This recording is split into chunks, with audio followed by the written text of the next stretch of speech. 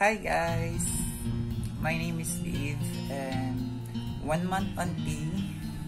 Tapos ngayon gagawento ko lang mga experience ko mula nung nag-take ako ng tea hanggang ngayon na one year na ay one year one month na akong gumagamit ng tea. Tapos ayun nga guys yung napansin ko or naramdaman ko ngayong one month na akong gumagamit ng tea is yung unang napansin ko ay yung kilay ko. It's kumapal siya. Pero sa pag-personal talaga siya, makikita mo yung mga hibla-hibla dyan na talagang kumapal siya. Lalo na rito sa part na to nagkakaroon siya ng buhok. Ayan. Kumapal talaga siya kesa dati na manipis. Tapos may, dati kasi yung kilay ko parang kalbo pa rito part. Tapos ayan nga, tumubo na yung mga kilay-kilay ko nagbuka na siyang makapal. Ayun lang yung napansin ko. Tapos, tapos sa mga sa hugis rin ng mukha ko, parang feeling ko nagbago rin ng konti sa hugis ng mukha ko gaya kesa dati. Tapos yung naramdaman din naman ako sa tingin, kagaya ngayon nangangati ako. Parang dito sa part ko tapos yung rush na yun, yung Makati. Tapos pag, pag kinukutod mo siyang ganyan, mas lalo siyang kakati. Kaya ginagawa ko yun, naganyan ko na lang para hindi siya lalong kakati. Tapos kung makikita nyo, parang, ayun nga yung part na Makati dyan, ano, parang may mga tumutubo rin na maliliit na buhok pero hindi ata kita sa camera. Pero kung saan yung mga butlig na yun, parang dun din lumalabas yung maliliit na buhok. Parang nagkakaroon na ako ng buhok diretso siya hanggang sa pusod ko. Tapos, kung saan siya part na Makati dito, basta dito, tapos dito. Minsan na rin sa likod ko, Makati rin siya. Tapos, yun lang ang napansin ko sa one month kong paggamit ng tea. So, nakadalawang ampule na ako ng tea.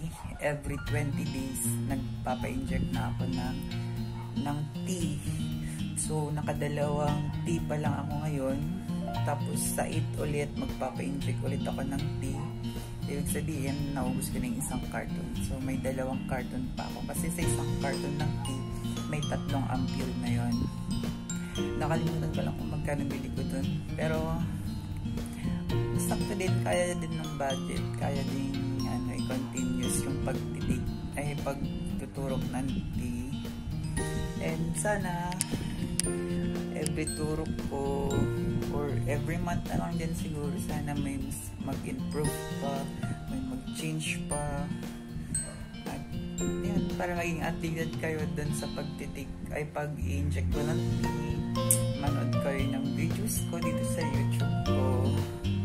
Para tapos mag-comment na din kayo kung may mga alam kayo about sa tea kung may share kayo sa akin about sa tea tapos para feeling ko pala ano, pag nag-peak ka, dapat sabayan mo workout. Kasi pag sinasabayan siya ng workout, mas lalong nakikita mo yung improvement ng katawan mo. Ganun. Pero feeling ko pag tamad ka rin mag, ano, mag-workout, parang matagal din yung effect. Tapos hindi mo masyadong makikita yung effect. Pero um, sabayan mo ng sipag ang pag-inject ng tea, sabayan mo ng sipag sa pag-workout, yun, mas makikita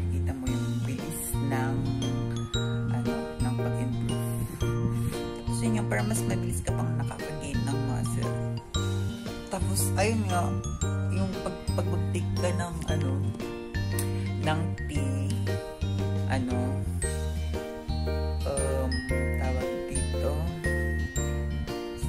basta kalimutan ko na kung gusto ibig kong sabihin. Pero basta magtik lang kayo na hindi nakaka-excite lang. Parang, mas nagaganati mag-workout pag nagtiti kayo kasi parang gusto nyo change sa akin habang nagtutulog ako ng tea. Tapos, basta na-excite lang kayo parang iniisip nyo kung ano bang kakalabasan ng ginagawa. Pero siguro pag naubos ka na yung tatlong box ng tea tapos wala pang improvement talaga ng bonggang-bonggang napansin ko sa tea. Siguro hihinto na ako. Pero feeling ko pag naubos ko yung tatlong box na yun, kahit siguro wala magbago, parang isipin ko na naman siguro na baka kulang pa ba kailangan apat or lima or anim pang mauubos ba kung basta parang ano parang advance ako siya mag-isip tapos pag nagtitikin ng tea na enjoy lang kayo huwag kayo masyadong magpapastress. Tapos ano pa ba may share ka about sa pagtiti ayun lang basta parang sa akin when eh, mula nung nagtitina ako. Parang araw-araw kang excited. Excited ako mag-workout. Excited akong gumising. Kasi pagkagising mo, parang gusto mo humarap na agad-agad sa salamin. Titignan mo na yung looks mo. Ay, nagbago na. Tapos, gaya nga nun nung first time ko magpatusok ng tea. Tapos, nung tinurukan na. Tapos, alam mo yung kakaturok mo lang. Tapos, panitingin ka ng tingin na sa salamin. Yung gusto mong tingnan kung umipekto na ba agad-agad may nagbago na ba agad-agad kaya katuturok mo na. Kasi ganun ako ka-excite tapos pagkagising mo ng umaga diretso sa salamin tignan mo kung may nagbago ba. Parang gano'n parang excited ka. Tapos ang pinakagusto ko parang mula nung nag-take ako ng tea yung gigising na ako pagkagising ko kasi ihatid ko na yung partner ko sa trabaho niya. Pag uwi ko, parang excited ako umuwi, excited ako mag-workout. Ayun, pag nagtitika talaga parang ginaganahan ka, nagkakaroon ka ng confidence, parang lakas na mag-workout every morning. Ganun. Minsan nga sa morning, tapos na ako mag-workout. So, nakakauwi na ako dito sa bahay namin kasi mga 8 ay mga 9. So, pagdating ko dito sa bahay ng 9, workout na ako yan. Matatapos ako ng mga Inaabot ako ng 12 kasi minsan parang, ay, gusto ko pa, gusto ko pa, hindi pa ako pagod. Parang gano'n. Parang hindi ka rin naman masyado mabilis mapagod pag nagtitik ka. Kasi parang napansin ko nang hindi pa ako nagtiti na nag-workout ako. Bilis ako mapagodin.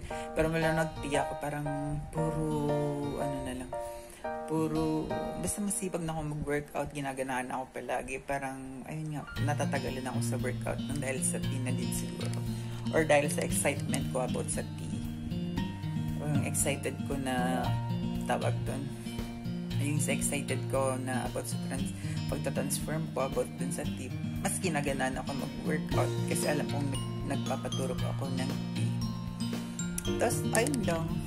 Tapos update ko kayo ulit kung kailan na naman ako sisipagin mag-update sa inyo about sa tip. Pero feeling ko kapag weekly ka kasi nag-update tapos every ganun mo. Parang walang nag-teach. Kaya mas, parang mas maganda mag-update ka, ano, two weeks, three weeks, or one month. Ganun siguro ako mag-update sa inyo. Pero, pag may bago naman ako napansin, ayun, gagawa ko ng video, i-upload ko para ma-update din kayo sa pag-change kung ano napansin kong pag-change ng tea. Tapos ayun lang, basta sabayan nyo lang ng sipag ng pag-workout para mas mabilis yung epekto ng tea. Tapos, ayun lang, pag nag-tea kayo, expect nyo na na talagang ganito yung mukha yung skin.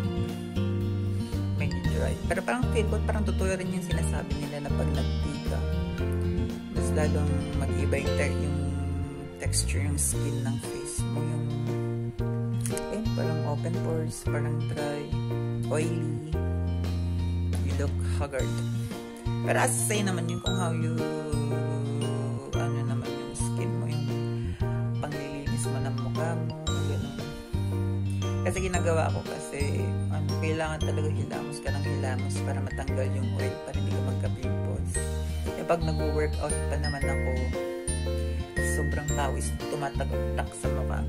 Kaya pagkatapos mo mag-workout, 20 minutes, or ako ginagawa ko, hindi ko 20 minutes. Pagkatapos ko mag-workout, yung hilamos na ako. Wala naman ko ng ano. Kesa magkaka-pimples ka ng marami. Ayun. Ito nga, magkaroon ng pimples dito. Pero ganito talaga yung sa ano ko.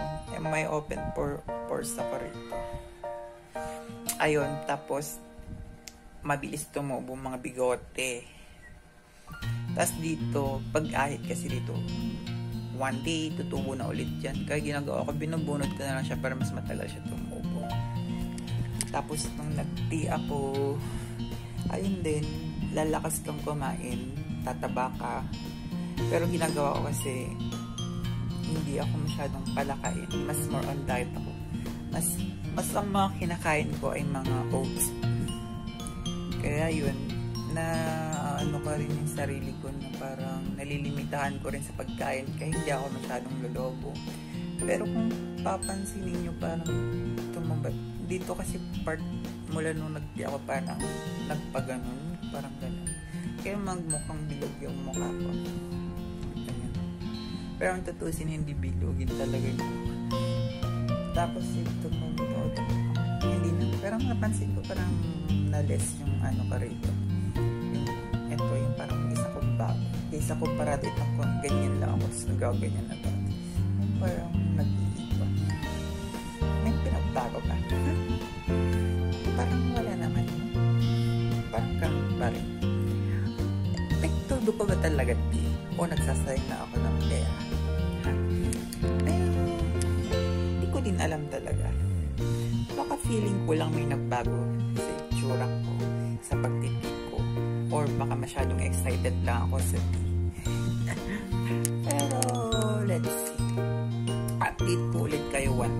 Tandaanan nyo tong pagmumukhang to ha. Tandaanan nyo yung mukhang to. Tapos, next month ulit, i-update ko kayo. Titignan nyo nga kung may nagbago nga ba or wala. Pero parang feeling ko meron kumpara dati. Sure, kapal naman ka ayun, basta update ko kayo ulit about dun sa hmm.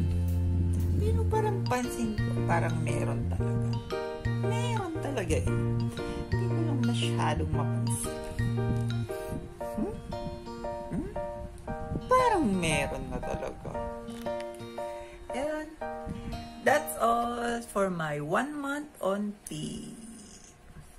Oh, tingnan mo, kalain mo na one month na ako sa birthday tea in one month, two ampule.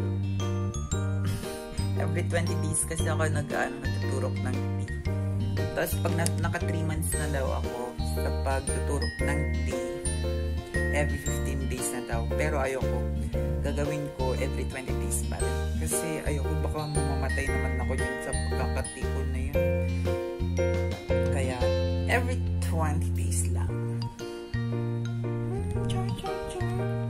ba? Nagbago? Parang wala talaga. Wala. Wala, wala, wala. Ano. Okay, see you next month or 3 weeks. Mag-update ako ulit sa inyo about sa kong ginagamit.